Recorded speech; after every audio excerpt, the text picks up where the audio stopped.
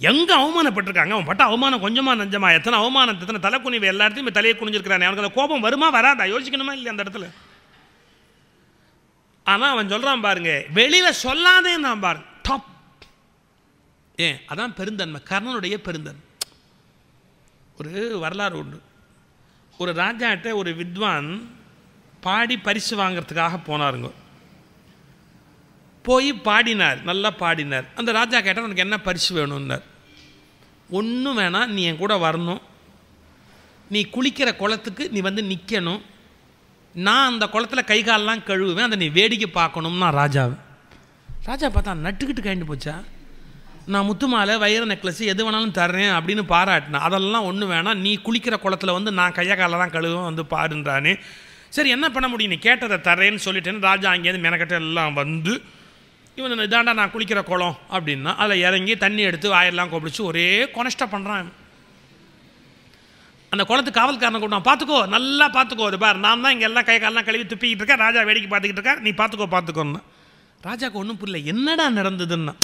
அது இவன் வரும்போது என்ன ஆயிருக்குது இது ராஜா குளிக்கிற குளம்னு தெரியாமல் இறங்கி கை காலை கழுவி இப்படி வாய் கொப்பளிக்க போனான். காவல்காரன் புடதியில் வச்சான் வச்சிட்டு ஒரு வார்த்தை சொல்லிட்டான் என்ன ஏதோ நாம் பார்த்ததால நீ உயிரோட தப்பிச்ச. இதுவே ராஜா பார்த்துருந்தாருன்னா உன் தலையே போயிருக்கும்ட்டான் இப்போ அதனால ராஜாவை பார்க்க வச்சு அதையே செஞ்சு என் தலை போகலேன்னு நிரூபிக்கணும். அவன் என்னெல்லாமோ பறித்து கொடுக்குறேன்னா அதெல்லாம் ஒன்றும் வேணாம் அப்படின்ட்டு இதை நிறைவேற்றிட்டு வீட்டுக்கு வந்துட்டான். இதாங்க ஹியூமன் சைக்காலஜி மனுஷன் நாம் அவமானப்படுற விஷயத்தில் ஜெயிக்கணும்னு நினைப்பான். அதுக்கு எத்தனை லட்சம் போனாலும் கவலைப்பட மாட்டான். இது வந்து ஈகோ மனுஷனுடைய அகங்காரம். இப்போ யோசிச்சு பாருங்க எப்படிப்பட்ட ஒரு வாய்ப்பு கிடைச்சிருக்கு? இவனுக்கு ஆனால் அவன் அப்போ கூட அதை விட்டு கொடுக்குறான் பாருங்க. இந்த விட்டு கொடுக்கறது தான் பெருந்தன்மையோட உச்சி கர்ணனுக்கு. ஒரு வார்த்தை சொன்னான். இதை வெளியே சொல்லாது. மைவரும் கடற்பார் அனைத்தும் எனக்கே வழங்குவர். வழங்கில் யான் அது என் கைவரும் துணைவன் தனக்கு அல்லால் வழங்கேன். கடைப்பிடி கருமம் இது என்றான். இதை தயவுசெய்து நீ வெளில சொல்லாது. நீ காப்பாற்ற வேண்டிய விஷயம் சொல்லாது. அது மட்டுமல்ல கடைசியில் நீ இப்படி எடுத்து அழு என்னை பிள்ளைன்னு சொல்லி அழு அப்படின்னு வரம் வாங்கினா குந்தி தேவி அந்த இடத்த விட்டு புறப்பட்டு.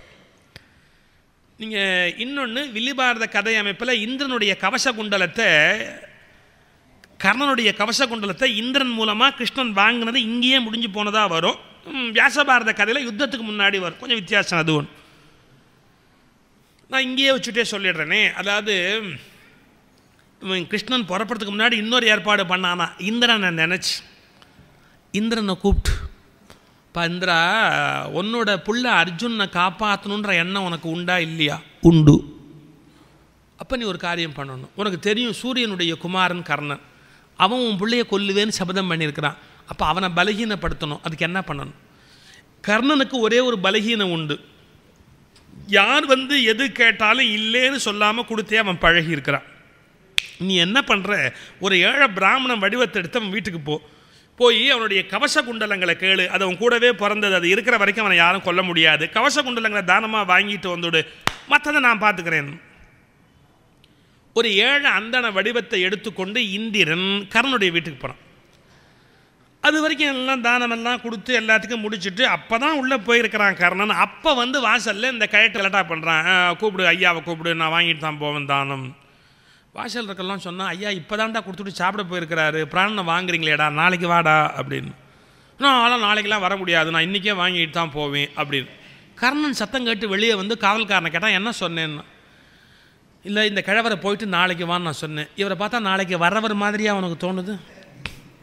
நாளை வரைக்கும் இருப்பாரானே தெரியல. இவரை போய் நாளைக்கு வான்னு நீ ஐயா வாங்க உள்ளேன்னு கையை பிடிச்சி கூட்டிகிட்டு போய் இந்திரனை உட்காத்தி வச்சுட்டு உங்களுக்கு என்ன வேணும்? அப்படின்னா. இல்லை நான் கேட்டதுக்கப்புறம் நீ இல்லைன்னு சொல்ல மாட்டியே. அப்படி சொல்லி எனக்கு பழக்கமே இல்லை. உங்களுக்கு என்ன வேணுமோ நான் கண்டிப்பாக தருவேன். என்ன வேணும் கேளுங்கோ அப்படின்னு. எனக்கு என்ன வேணும்? எனக்கு ஒன்றும் பெருசாக ஒன்றும் வேண்டியதில்லை. நீ பேசும்போது இந்த காதில் ஒரு குண்டலம் ஆடிக்கிட்டே இருக்கு இல்லையா? அந்த குண்டலமும் உடம்புல எப்போதும் இருக்கே ஒரு கவசம். அது ரெண்டையும் எனக்கு தானமாக கொடு. ஒரு வினாடி யோசிச்சா இப்போ நாம் கர்ணன் நிலையில் இருந்தோம்னு வச்சுங்க ஏய் உனக்கு எதுக்குப்பா அதெல்லாம்? நீ என்ன போர்க்களத்துக்காக போக போகிற எங்கேயாவது அடகு வச்சு அஞ்சு பத்து சாப்பிட போறியா? அதுக்கு நேரம் அஞ்சு பத்து வாங்கிட்டே போ. இதெல்லாம் கைட்டி உனக்கு என்ன போகுது? உனக்கு தேவையில்லாதெல்லாம் எதுக்கு கேட்குறேன்னு நம்ம கேட்டிருப்போம். ஆனால் அவனுக்கு அந்த குணம் இல்லை. தர்றேன்னா தர்றேன் தான். மறுப்பே கிடையாது. இல்லைன்னு சொல்லி அவனுக்கு வழக்கமே கிடையாது. நான் தர்றேன். ஆனால் அதுக்கு முன்னாடி என்னோட இஷ்ட தெய்வம் யார்? சூரியன். சூரியனை நினச்சிட்டு கொடுக்கணும் அப்படின்னு உள்ளே போய் சூரியன் ஒரு வினாடி தொழுகை பண்ணிவிட்டு இந்த கவச குண்டத்தை கொடுக்கணும்னு நினைக்கிறான் பாருங்க. சூரியன் உள்ளேந்து ஒரு வாக்கு கொடுத்தான் கொடுத்துடாது வந்திருக்கிறவன் யாருன்னு உனக்கு தெரியாது. அவன் ஏழை பிராமணன் இல்லை. அவன் இந்திரன். ஏன்னா இந்திரனுக்கு அவன் பிள்ளையை காப்பாற்றணும்னு ஆசை இருந்தா சூரியனுக்கு அவன் பிள்ளையை காப்பாற்றணும்னு ஆசை இருக்காதான் இந்திரனுக்கு அவர் புள்ளையை காப்பாற்றணும்னு ஆசை. எப்படி சரியாக வருமா இது? உள்ளேன்னு குரல் கொடுத்துட்டாரு அவர். எப்படி குரல் கொடுத்துட்டாரு? அப்பா வந்திருக்கவன் யார் தெரியுமா? ஏழை பிராமணன் இல்லடா இந்திரன். உன்னை பலகீனப்படுத்துறதுக்காக வந்திருக்கிறான். அந்த கோஷங்குளத்தை இப்போ கொடுத்துட்டேன்னா இப்போ அவ்வளோதான் உனக்கு பலமாக பலம் போயிடும் அப்படின்னு. ஆனால் பாருங்கள் ஒரு ஆச்சரியம் கண்ணுடைய குணம். இந்திரனா ஆமாம் கண்டிப்பாக கொடுப்பேன் ஏன்டா இது வரைக்கும் அவன் தான் என்கிட்ட பிச்சையே எடுக்கலை. இப்போ அவனும் வந்து எடுத்துட்டான். இது வரைக்கும் மனுஷ லெவலில் தான் எல்லாம் வந்து யாச்சும் வாங்கிட்டு இருக்கிறான். தேவேந்திரனே வாங்கிட்டான் அப்படின்னா எனக்கு எவ்வளோ பெரிய பெருமை? சார் மனுஷன்லாம் யாச்சங்க வாங்கிட்டு இருக்கிறது போய் தேவலோகத்து வரைக்கும் பாப்புலாரிட்டி போய் தேவேந்திரனே வந்து பிச்சை எடுத்தான்னா இந்த வாய்ப்பை நான் எப்படி விட்டு கொடுக்க முடியும்? கண்டிப்பாக கொடுப்பேன் இதுதான் கர்ணனுடைய ஸ்பெஷாலிட்டி கவலையே படலை. அதில் வில்லிபுத்திரார் எழுதுறார் பாருங்க இதை அறுத்து கொடுக்கணும். உடம்போட ரத்தத்தோட பிறந்த சதையோட அதை அறுத்து கொடுக்கணும். சிந்தையின் கண் ஒரு கலக்கமற்று ஈந்தனன்னார் பாட்டு. ஒரு கவலை கவலை கிடையாது. அப்படியே அர்த்தம் அப்படியே தூக்கி கொடுக்கலாம் சிந்தையின் கண் ஒரு கலக்கமற்று ஈந்தனன் ரொம்ப முக்கியமான இடம். பல பேர் கொடுப்பான் கொடுத்துட்டு துக்கம் பிடிப்பான் தெரியுமா உங்களுக்கு? துக்கம் அனுஷ்டிப்பான் இந்த கடைவீதியில் நன்கொடைக்கு போகிறவங்களுக்கு தான் அது தெரியும். வசூலுக்கு போவான் கடைவீதியில். முதலாளி உட்காந்துருப்பார் அந்த கேட்கும்போதே முதலாளிகிட்ட கணக்கு பண்ணால் முதல்ல கேட்பான். ஐயா இப்போ எப்படி இருக்கிறாரு? ஐயா எப்படி இருக்கிறார்? ஐயா அஞ்சில் இருக்கிறாரு. எல்லாம் ஆறறிவில் இல்லை அவர் அஞ்சறிவில் இருக்கிறார். கோபமாக இருக்கிறாருன்னு அர்த்தம். ஐயா அஞ்சில் இருக்கிறார். நாளில் வந்தாலும் வந்துடுவார். மேலே விழுந்து பிராண்டுவான்னு அர்த்தம். அவருக்கு ஏன் கணக்க பிள்ளைன்னு பேருனா ஆறா அஞ்சான்னு கணக்கு பார்க்குறாரு பாருங்க அதனால தான் கணக்க பிள்ளைன்னே அவருக்கு பேருன்னா. அப்போ இப்போ வேணாமா? இப்போ அப்புறமா வாங்க. வசூலுக்கு அப்புறமா வாங்க அப்படின்னு. இன்னும் சில பேர் எப்படின்னா கோபத்தெல்லாம் வெளியில் காட்ட மாட்டாங்க. இன்னும் போவாங்க. இது மாதிரி நீங்கள் தான் நன்கொடை கொடுக்கணும் எல்லோரும் கொடுத்துருக்காங்க நீங்களும் கொடுக்கணும் அப்படின்னா. அவங்க அவங்க வருத்தத்தை காட்ட மாட்டாங்க. ஆனால் என்ன பண்ணுவாங்க? சரி ஒரு ஐநூறுரூவா எழுதிக்கோங்க. இந்த ஐநூறுரூவா எழுதிக்கோங்க ஒரு போதே முகம் வாடிடும். ஒரு ஐநூறுரூவா எழுதிக்க. இல்லை எழுதிக்கங்கன்னா அப்புறம் மறுபடியும் நாங்கள் எப்படி வர முடியும்? திருப்பி திருப்பி வர முடியும்? கொடுத்துட்டிங்கன்னா கொடுக்கணுமா? ம் சரி. இப்போ அந்த உங்களுக்கு ஒரு ஐநூறுரூவா கொடுத்தேன். வாங்க எல்லாம் போய் போயிட்டு வாங்க அவன் அனுப்பிச்சிடுவார். அவன் அந்தாண்ட போன உடனே அப்படியே துக்கமாக உட்காந்துருப்பார் யாராவது வருவாங்க. என்ன ஆச்சு என்ன ஆச்சா வசூலுக்கு வந்தாங்க. நான் கூட கொடுக்குறதாவே இல்லை. கறந்துட்டு போயிட்டாங்க. கறந்துட்டு போயிட்டாங்கன்னு என்ன அர்த்தம்? தான் ஒரு எரும மாடுன்னு அவனே ஒத்துக்கிறான். நான் கொடுக்குறதா இல்லை. ரெண்டு பேர் கை காலை பிடிச்சான். பர்ஸை ஒருத்தன் உருவிட்டான். கறந்துட்டான். ஆ? கறந்துட்டு போயிட்டாங்களாம். கொஞ்சம் யோசிக்கணும். கொடுத்தவன் துக்கமாக தானே உட்காந்துருக்கான் உலகத்தில்? கறந்துட்டு போயிட்டான்ப்பா. என்ன பண்ணுறது ஐநூறுரூபா ஐநூறுரூபா வாங்கிட்டு போயிட்டாங்க. ஆ ஆ ஆ. சாப்பாடு இறங்காது. இப்போ கொடுத்துட்டு மனுஷன் துக்கமாக இருக்கலாமோ? நான் ஒரு விஷயம் சொல்கிறேன் பாருங்க. நம்ம நாட்டில் ஒரு விளையாட்டு இருக்குது குழந்தைங்களுக்கு. இப்போல்லாம் போச்சு அதெல்லாம். அப்போல்லாம் அம்மா சாதம் ஊட்டுவா. அதுக்கு ஒரு தட்டு போட்டு ஒரு ஸ்பூன் போட்டுருவா. அது இப்படி குத்தி குத்தி குத்தி குத்தி எல்லா பக்கமும் இப்படி சேர்ந்து முடிஞ்சால் சாப்பிடும். அப்போல்லாம் அம்மா ஊட்டி விடுவா. அதாவது இந்த உள்ளங்கையில் தாங்க உங்கள் உள்ளம் இருக்குது இந்த உள்ளங்கையில் உங்கள் உள்ளம் இருக்குது இதில் பிசைஞ்சு இப்படி குழந்தைக்கு ஊட்டுங்க பாசமாக இருக்கும். அதான் கரெக்ட் இந்த உள்ளங்கை ரேகை ரேகையே இல்லை. இது எல்லாம் நுண் உயிரிகள். இது ஒவ்வொன்றும் நுண் உயிரி. உங்கள் உங்களுடைய உள்ளத்துக்கான வெளிப்பாடு இது. இதில் நல்ல பிசைஞ்சு அந்த குழந்தைக்கு இப்படி சாதம் ஊட்டினா அது அன்பாக இருக்கும். மற்றபடி ஊட்டினா அதுக்கு அந்த உறவு குறைஞ்சி போயிடும். குழந்தைக்கு நமக்கு இருக்கிற உறவு குறைஞ்சி போயிடும். இதெல்லாம் பழைய வழக்கம். அந்த காலத்தில் அம்மா சாதம் ஊட்டுவா குழந்தைக்கு. சாதம் ஊட்டுற போது அது கலாட்டா பண்ணும். சாப்பிட மாட்டேன்னு கலாட்டா பண்ணும். எப்படி ஊட்டுவா பார்த்துருக்கீங்களா நீங்கள் அந்த குழந்தைக்கு. அந்த சாதத்தை பிசைஞ்சிட்டு வாய்க்குள்ளே கொடுத்து அது துப்பும். உடனே அந்த இந்த சாத்தை கீழே வச்சுட்டு ஒரு டயலாக் அடிப்பா. குழந்தைய கையை காட்டு சொல்லி. சாதம் போட்டு பருப்பு போட்டு நெய் விட்டு அப்படின்னு. குழந்தை ஓன்னு பார்த்துட்டு சில வீட்டில் போட முடியாதெல்லாம் சொல்லிவிடுவாங்க அதில். குழந்தை ஓன்னு பார்த்துட்டு சாதம் போட்டு பருப்பு போட்டு நெய் ஊற்றி கீரை போட்டு கடைஞ்சுன்னு அந்த குழந்தை அப்படி சிரிச்சுக்கிட்டே இருக்கும். கடைஞ்சு அப்புறம் இந்த அஞ்சு விரலையும் மடக்குவாங்க. அதோ அந்த மாமாவுக்கு கொஞ்சம் அதோ அந்த தாத்தாவுக்கு கொஞ்சம். அது எவன்லாம் தப்பாக வேடிக்கை பார்க்குறான் அந்த தாத்தா வைக்கிற வேண்டியது. அதோ அந்த தாத்தாவுக்கு கொஞ்சம். ஊரில் இருக்கிற சித்தி சித்திக்கு கொஞ்சம். அந்த குழந்தை இப்படி சந்தோஷமாக இப்படி பார்த்துக்கிட்டே இருக்கும். அப்புறம் பாட்டிக்கு கொஞ்சம். இப்படி அஞ்சு விரலையும் மடக்கிட்டு கடைசியில் ஊரில் இருக்கிற தாத்தாவுக்கு கொண்டு போகிற வழி எங்கே இருக்குன்னு கேட்டு கிச்சு கிச்சு கிச்சு கிச்சுன்னு அப்படி கொண்டு போனால் அந்த குழந்தை கிக்கி கிக்கின்னு சிரிக்கும். இது என்ன விளையாட்டுது அதாவது சோறு திங்கிற போது அஞ்சு விரல மடக்கி தாத்தா கொஞ்சம் மாமா கொஞ்சம் பெரியப்பா கொஞ்சம் என்னன்னா நாம் மட்டும் திங்கப்படாதுங்க. நாம் திங்கிற போது பத்து பேருக்கு கொடுத்து திங்கணும். இதை விளையாட்டில் கல்ச்சரில் உண்டு பண்ணணும். அதை விட முக்கியம் என்னன்னா கொடுத்துட்டா துக்கம் வரும். வராமல் சிரிக்கிறதுக்கு பழகணும். அதுக்கு தான் ஒன்று கிச்சு கிச்சு மூட்டு சிரிக்க வச்சு கொடுத்துட்டா சிரிக்கணும் அப்படிங்கிற பழக்கத்தை விளையாட்டில் வச்சான். இதுக்கு இதுக்கு சைக்காலஜியில் கண்டிஷனிங்னு பேர். என்ன கண்டிஷனிங்னா ஒரு செயல் நடந்த உடனே நீங்கள் எப்படி ரியாக்ட் பண்ணணும் அப்படிங்கிறத சின்ன வயசுலேருந்தே கண்டிஷன் பண்ணிடலாம். நீங்கள் யாரையாவது அடித்த உடனே சிரி அடித்த உடனே சிரின்னு பழக்கியிருந்தீங்கன்னா அடித்த உடனே கிக்கின்னு சிரிப்பாங்க.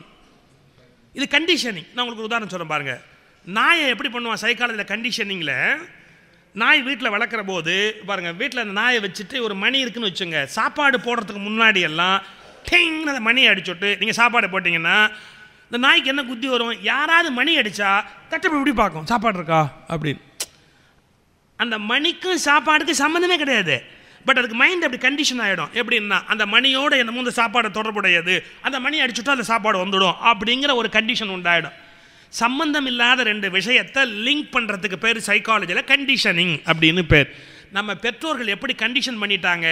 ஏதாவது கொடுத்துட்டா வருத்தம் வரும். அந்த கொடுத்தா சிரிக்கிறதுக்குரிய ப அந்த பழக்கத்தை விளையாட்டில் வச்சு கண்டிஷன் பண்ணிட்டான். இப்போ இதுதான் கர்ணனுடைய சிறப்பு. கொடுக்கறது பெருசு இல்லை. கொடுத்துட்டான் சந்தோஷமாக இருப்பான். சிந்தையின் கண் ஓர் கலக்கமற்று இந்தனன் இதை விட வியாசர் சொல்கிறாரு அவன் தானம் பண்ணிட்டு என்ன பண்ணுவானா? தானம் வாங்கிட்டு போகிறவங்களோ வாசல் வரைக்கும் கொண்டு போய் விடுவான் தானம் வாங்கணும் பலர் வாசல் வரைக்கும் விட மாட்டான். ஆ சரி வாங்க அப்படின்ட்டு. ஏ இனிமேல் அந்த ஆள் வந்தால் இல்லைன்னு சொல்லப்பா. இது வேறு பெரிய அவஸ்தையாக இருக்குது இல்லை நீயே ஏதாவது கொடுத்து அனுப்பு. உள்ளெல்லாம் வந்து காப்பி இப்பெல்லாம் கொடுத்துட்டு எதுக்கு இது வேண்டாத அவஸ்தை? மனுஷனோட இயல்பு அது. ஆனால் அவன் எப்படின்னா வாசல் வரைக்கும் வழி அனுப்புவானா? அதை விட பெருமை காரணனுக்கு என்னன்னா மறுபடியும் எப்போ வேணும்னாலும் வாங்குவோம்பானா இப்படிலாம் பார்க்க முடியுமா? மறுபடியும் எப்போ வேணாலும் வாங்க. அடிக்கடி நீங்கள் வாங்க. அப்படி. இந்த மாதிரி ஒரு மனுஷனை உலகத்தில் பார்க்க முடியாது. சிந்தையின் கண் ஒரு கலக்கமற்று இந்தனன் இந்த இந்திரன் பார்த்தான் இந்த இந்த சொத சொத சொதன்னு வெட்டின மாம்சத்தோடு அதை அப்படியே வாங்கிட்டு சொன்னால் டக்குன்னு இந்திரனுங்கிற விஷயம் தெரிஞ்சு போச்சு. அதை அதை வந்து இவன் எப்படி உணர்ந்துக்கிட்டான்? வந்திருக்கிறவன் நிச்சயமாக மனுஷன் இல்லை இந்திரன் உள்ளன்னு சொல்லிடுச்சு இல்லையா? அவன் புரிந்து கொண்டேன்ற அர்த்தத்தில் பேசினான் கர்ணன் உடனே அவனுக்கு வெக்கமாக போச்சு. அவன் உடனே நான் உனக்கு ஏதாவது கொடுக்கணும். நான் உனக்கு ஒரு சக்தி ஆயுதம்னு ஒரு ஆயுதம் தரேன். இதை என் புள்ள மேலே மட்டும் பயன்படுத்தாது. அர்ஜுன் மேலே மட்டும் பயன்படுத்தாத மற்ற யார் மேலே வேணாலும் அவனுக்கு பீமஞ்சத்தை விட கவலை கிடையாது. அவன் எப்பேற்பட்ட ஆள் பாரு. மற்ற யார் மேலே வேணாலும் பயன்படுத்து என் பிள்ளை மேலே மட்டும் இதை பயன்படுத்திடாதே. அப்படின்னு பதிலுக்கு அவன் ஒரு சக்தி ஆயுதம்னு ஒரு ஆயத்தை கொடுத்துட்டு அந்த இடத்த விட்டு இந்திரன் மறைந்து போகிறான். இப்படி ம- இப்படி க கண்ணன் தூது வந்து தூது மட்டும் உரிய காரியத்தை பண்ணலை. எப்படியெல்லாம் எதிரியை பலகீனப்படுத்தணுமோ எல்லாம் பண்ணி முடிச்சாச்சு. இதெல்லாம் முடிந்ததற்கு பிற்பாடு அவன் திரும்பி இங்கேருந்து போய் பாண்டவர்களிடத்திலே செய்தியை சொன்னான் அந்த செய்தியை சொன்ன உடனே அவன் திருந்துவதற்கு வழி இல்லை. அதனால் யுத்தத்தை தொடங்குவதை தவிர வேறு வழி இல்லைன்னு தீர்மானமாகி யுத்தம் தொடங்குவது அப்படின்னு தீர்மானமாச்சு. இவங்க ஆள்களை எல்லாம் சேர்த்து கொண்டு பெரும் படை திரட்டியிருக்கிறான் அவன் ஆளெல்லாம் சேர்த்து கொண்டு பெரும் படை திரட்டி வச்சிருக்கிறான். இந்த இவ்வளவு பெரிய பெரிய படையும் வந்து இவர்கள் துரியோதனாதிகளுடைய பக்கத்தில் பதினோரு அக்ரோனி சேனு. தருமனுடைய பக்கத்தில் ஏழு அக்ரோனி சேனை. அப்போவே நீங்கள் நியூமரிக்கல் ஸ்ட்ரென்த் அப்படின்னு எண்ணிக்கையை எடுத்து பார்த்தீங்கன்னா துரியோதனம் பக்கம் தான் ஜாஸ்தி. நம்பர் காத்தீங்கன்னா இவன் கம்மி. இவன் அஞ்சு பேர் தான் இவன் பின்னாடியும் ஏழு அக்ரோனி தான். அவன் நூறு பேர். அவனுக்கு பின்னாடி பதினோரு அக்ரோனி. ஆனால் அன்றைக்கே சொல்கிறான் உலகம் என்பது உயர்ந்தோர் மேற்றே அப்படின்ட்டான். இப்போ நீங்கள் என்னதான் ஒரு சொற்பொழிவுக்கு உயிரை விட்டால் கூட என்ன ஒரு ஐநூறு பேர் ஆயிரம் பேர். மதுரையில் ஒரு சொற்பொழிவு பண்ண ராமாயணம் ஒரு வரலாறு தான். அது வந்து ஒரு ஏசி ஹால். அது ரொம்பி வெளியிலலாம் நின்று டிவி வச்சு கொட்டகை போட்டு அது ஹிந்து பேப்பரை ரிப்போர்ட்டே பண்ணியிருந்தான். இந்த ஹிஸ்ட்ரி ஆஃப் மெஜுரா இது ஒரு பெரிய விஷயம் அப்படின்னு. என்ன உயிரை கொடுத்து ஒரு சொற்பொழிவுக்கு பண்ணாலும் அவ்வளோதான் பண்ண முடியும். ஏன்னா அது அறிவுபூர்வமான சமாச்சாரம். அதுவே ஒரு சினிமாக்கார அம்மா வந்து டான்ஸ் ஆடட்டும். ஒரு லட்சம் பேர் மரத்து மேலே தான் ஏறி உட்காந்துக்கிறான் ஏறி உட்காந்து அப்படிங்க என்ன கண்டு என்னத்தை வேரிட் பண்ண? தெரியாது. அப்போ எதுக்கு உலகம் அதிகமாக சேரும்னா கூட்டம் அதிகமாக ரொம்ப பெருசாக சேரும்னு சொன்னாலே அது அறிவுக்கு பயன்படாத நியாயத்துக்கு ஒத்து வராத விஷயம்னா பெரும் கூட்டம். ரொம்ப உயர்ந்த விஷயம்னு சொன்னால் very few only very few அதான் சொன்னா உலகம் என்பது உயர்ந்தோர் மேற்று. எப்பவும் எண்ணிக்கை நியூமரிக்கல் ஸ்ட்ரென்த் நல்லதுக்கு கம்மியாக இருக்கும். நான் அதனால தான் நான் அடிக்கடி என்ன வற்புறுத்துறேன்? நல்லவர்கள் குறைவாக இருக்கிறதால கெட்டவர்கள் எண்ணிக்கை அதிகமாக இருக்கிறதால நல்லவர்கள் வில் பவரில் ஸ்ட்ராங்காக இருந்தால் தான் ஜெயிக்க முடியும். ஐயோ அவங்களாம் இவ்வளோ ஜாஸ்தியாக இருக்கிறாங்களோ? அவங்க என்ன பண்ணுவாங்களோன்னு பயப்பட ஆரம்பித்தோம் நம்ம கதை அதோ கதையாக போய்டும்.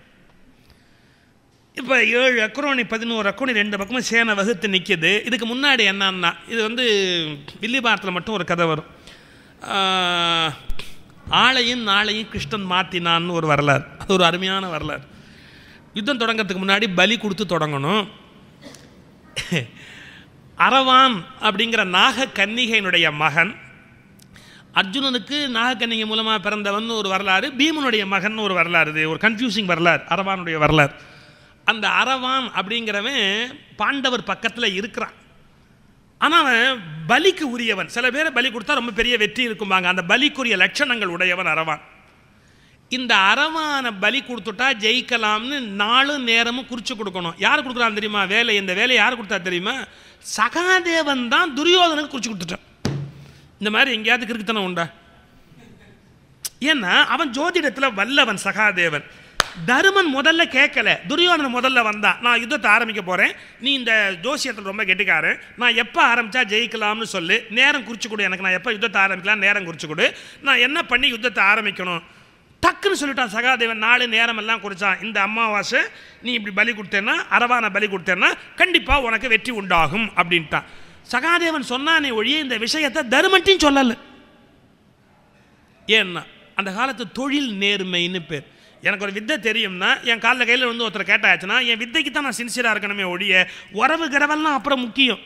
நாமளே தோற்று போவோம்னா கூட அது இல்லை. ஜோசியத்துலலாம் அவ்வளோ நேர்மையான அவ்வளோ உன்னதமான பண்பாளர்கள் அவங்க கையில் அந்த கலை இருந்த காலம் அது. இப்போ என்னன்னா நூறுரூவா கூட கொடுத்தா ஒரு மாதிரி சொல்கிறேன் அப்புறம் ஒரு நூறுரூவா கொடுத்தா ஒரு மாதிரி சொல்கிறேன் நான் எல்லாரையும் சொல்ல சில பேர் அப்படி இருக்கிறாங்க. அந்த கால நேர்மை தொழில் நேர்மை. சகாதேவன் ஆள் நேரம் எல்லாம் குறித்து கொடுத்துட்டான். அமாவாசை அன்னைக்கு பலி கொடுத்தா எல்லாம் சக்ஸஸ் அப்படி. இதுக்கப்புறம் இவங்க மீட்டிங் நடக்குது. யார்? பாண்டவர்கள் மீட்டிங் அப்போ கிருஷ்ணன் பாருங்கள் எவ்வளோ பெரிய ட்ராமான் யுத்தமெல்லாம் தொடங்க வேண்டியதுதான். ஆனால் நாம் யுத்தத்தை தொடங்குறதா இருந்தால் யுத்தத்துக்கு ஒரு நல்ல பலி கொடுக்கணும். அப்படி பலி கொடுக்குறதா இருந்தால் ரொம்ப லட்சணங்களெல்லாம் உடைய சிறந்த ஒருத்தர் தான் பலி கொடுக்கணும். அப்படிங்க பலி கொடுக்குறதா இருந்தால் யாரை கொடுக்க முடியும்? ரொம்ப சிறந்ததுன்னு சொன்னால் இங்கே நான் அப்படி இருக்கிறேன். என்ன வேணால் பலி கொடுக்கலாம். எல்லா தகுதியும் உண்டு பலிக்குரியது. என்னை விட்டுவிட்டால் அரவானை கொடுக்கலாம். ஆனால் ஏன் அரவானை கொடுக்கறது? அரவான் நம்ம கொடுக்க முடியாது. இல்லையா? அரவான்? உன்னை பலி கொடுக்க முடியாது இல்லையா? ஏன்னா அவன் ஆமான்ட்டான் அவன்கிட்ட. அவங்ககிட்ட பலியாகிறேன்னு வாக்கு கொடுத்துட்டான் அவன். அது இவனுக்கு தெரியும் இல்லையான்னு சொல்கிறான் அரவான் நம்ம கொடுக்கலாம். ஆனால் அரவானை கொடுக்க முடியாது. ஏன்னா அது ஏங்கிறது அரவானுக்கு மட்டும் தெரியும். இல்லையா? அரவான் உன்னால் பலியாக முடியாது. அப்போ நான் தான் பலியாகணும். என்ன வேணால் நீங்கள்லாம் வெட்டிக்கோங்க. கிருஷ்ணனை யாராவது விட்டுவாங்களா உடனே அவங்க சொன்னாங்க கிருஷ்ணா இது என்ன அக்கிரமமாக இருக்குது உன்னை விட்டுட்டு நாங்கள் எதுக்கு யுத்தம் நடத்தணும் அப்படி யுத்தமே தேவையில்லை. யுத்தமே இல்லாமல் பதவியே இல்லாமல் இருந்தாலும் இருப்போம் கிருஷ்ணா உன்னை வெட்ட மாட்டோம். அப்போ அரவானை தான் வெட்டணும். அவனை வெட்டலாமா கேளுங்க. அவன் மெதுவாக இருந்துச்சான் என்னை வெட்ட முடியாது. ஏன்னா நான் ஏற்கனவே அவனுக்கு வெட்டுப்படதா சத்தியம் பண்ணிட்டேன். ஓஹோ. அப்போ என்ன தான் வெட்டணும்? அப்போ என்ன பண்ணுறது கிருஷ்ணா உன்னை வெட்ட முடியாது. அரவானை வெட்டுங்க. அதான் அவன் மாட்டேங்கிறானே. அப்போ என்ன பண்ணலாம்? நீ என்னைக்கு பலியாகிறதா சொல்லியிருக்கிற? அவன் அமாவாசை கணக்கு பார்த்து இத்தனை அந்த இன்றைக்கி வருது அமாவாசை. அதனால் நான் அன்றைக்கி தான் பலியாகிறதா சொல்லியிருக்கேன். அப்படியா? உன்னை முதல் நாளே நாங்கள் வெட்டிட்டா? நீ அன்னைக்கு அவனுக்கு வெட்டுப்படுறதா சொல்லியிருக்கிற. அதுக்கு முதல் நாளே உன்னை நாங்கள் வெட்டிட்டோம்னு வச்சுக்கோ. அப்போ என்ன ஆகிடுது கணக்குப்படி அது அன்னைக்கு அமாவாசையில் நாங்கள் வெட்டிட்டு போகிறோம் அப்படி வெட்டியாச்சுன்னு சொன்னால் என்ன ஆகும்? அரவான் சொன்னான் எப்போ வேணாலும் வெட்டிக்கோ. எனக்கு தெரியாது. நான் உனக்கு கட்டுப்பட்டவன். நீ என்ன என்ன வேணாலும் பண்ணிக்கோ. அம்மாவாசை அன்னைக்கு நான் அவனுக்கு வெட்டுப்படதா சொல்லியிருக்கிறேன் அதுக்கு முதல் நாள் வெட்டா நீ வெட்டிக்கும் எனக்கு ஒன்றும் ஆட்சேபனை இல்லை. கூப்பிட்டான் எல்லாரையும். என்னன்னா ஏ இப்போ தான் அமாவாசை இது அமாவாசைக்கு முதல் நாளே சொல்லிட்டான். இப்போ தான் அமாவாசை இப்போ தான் அமாவாசை தர்ப்பணம் பண்ணுங்கடா ரிஷிகள் முனிவர்கள் எல்லாரையும் கூப்பிட்டான். எல்லாம் அமாவாசை காரியம் பண்ணுங்க பண்ண வேண்டிய காரியத்தை பண்ணுங்க. அப்படி. நீங்கள் சொல்கிற பெரியவங்க சொல்லிட்டாங்கன்னு சொன்னால் அப்போ நீங்கள் என்ன மீற முடியும்? அது மாதிரி கிருஷ்ணன் திடீர்னு எல்லாம் அமாவாசை தர்ப்பணம் பண்ணுங்கன்னா ஆறு மாட்டேங்க முடியும். ஏன்னா என்ன இன்னைக்கு அமாவாசை இன்னைக்கு அமாவாசை இன்றைக்கி அமாவாசைன்னா ஏ கிருஷ்ணனே எல்லாம் செய்கிறான்டா காரியம் இல்லைன்னா அவன் செஞ்சுட்டான் விறுவிறுன்னு உட்காந்தான் எல்லாம் ஆரம்பிச்சுட்டு. இது யாருக்கு ரொம்ப டவுட் வந்தான்? சூரியனுக்கும் சந்திரனுக்குமே வந்துட்டு தான் அவங்க ரெண்டு பேரும் மீட் பண்ணாதான் அமாவாசைனே பேர். ஏ நாம் மீட்டே பண்ணலை அப்புறம் எப்படி அமாவாசை வந்துடுச்சு சூரியனும் சந்திரனும் ஆச்சரியமாக பார்த்தான். என்ன அட்டா நாம் மீட் பண்ணாமல் எப்படி அமாவாசை வந்து ரெண்டு பேரும் ஒருத்தனை ஒருத்த குச்சி குச்சின்னு பேசிக்கிட்டு கிருஷ்ணன் தான் இந்த ஆரம்பித்து வச்சானாமேன்னு சூரியனும் சந்திரன் அங்கேருந்து நேராக புறப்பட்டு கிருஷ்ணன்ட்ட வந்து கிருஷ்ணா அது எப்படி அமாவாசை அன்னைக்கு? கணக்கு பண்ணி இன்னைக்கு அமாவாசை வராதுன்னு. அப்போ தான் கிருஷ்ணன் கேட்டான் ஏ அமாவாசைன்னா என்னடான்னா? அது சூரியனும் சந்திரனும் சந்திச்சா. இப்போ என்ன வாழுது? நீங்கள் சந்திச்சாச்சு ஆஹா! அப்படின்னா நாலு மாறி போச்சு. அன்னைக்கு முதல் நாளே இவனை வச்சாச்சு அரவானியும் வெட்டியாச்சு. அந்த நாளையும் ஆளையும் மாற்றி களப்பலிக்கு ஏற்பாடு செய்தான். ஆனால் அரவான் சாக்கலை அவன் இந்த யுத்தத்தை பார்க்கணும்னு வேண்டினான்னு ஒரு இன்றைக்கி அரவான் பண்டிகைன்னு ஒன்று பெருசாக கொண்டாடுவாங்க. அது என்ன வரலாறுன்னு கேட்டிங்கன்னா அரவானுக்கு அப்போ யாருக்கா தாலி கட்டணும்? அரவான் இல்லையா?